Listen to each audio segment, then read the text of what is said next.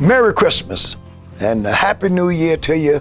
This is Bishop Wooden. I'm coming to you to invite you to join me for a very, very special service coming up on the fourth Sunday, the last Sunday of 2015.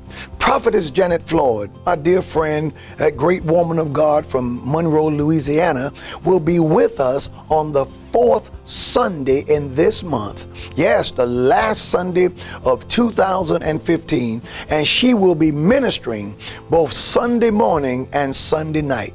She will preach the uh, 11 o'clock service and the 6 p.m. service. And we want you to be here to hear what this mighty woman of God has to say. The Lord has touched her, the Lord has restored her health, and God's using her in an amazing way. You know, 2015 has been an awesome year. Uh, we were called to be seen, which has, has been our theme for this year.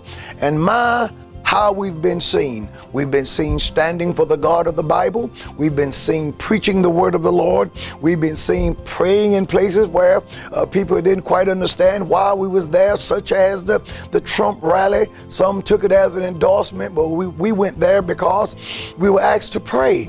And everybody knows that if Bishop Wooden is going to do the prayer, I pray one way. I pray to the Father in the name of Jesus. And that's what we did.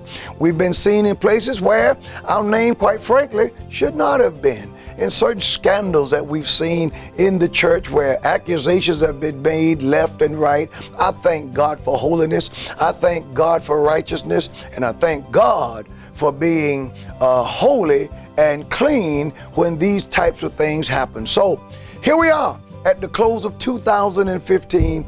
Upper Room members, Upper Room friends, come and join me uh, this coming Sunday, December the 27th, the fourth Sunday in this month. We are going to have church. Merry Christmas.